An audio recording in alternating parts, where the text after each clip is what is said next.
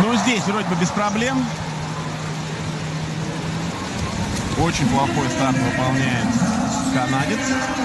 Но это опять-таки его личные проблемы. Рылов Следим- самый быстрый старт сделал. Мы следим за Колесником. Его легко определять. Он в розовой шапочке. Через одного человека от него работает Женя Рылов. И на поворот э, Женя заходит где-то, наверное, третьим.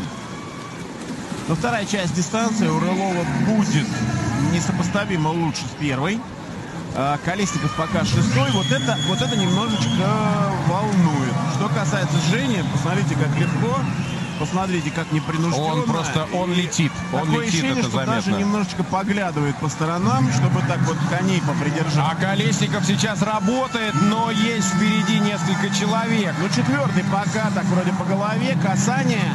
И четвертый. 53-44. Сейчас, кстати,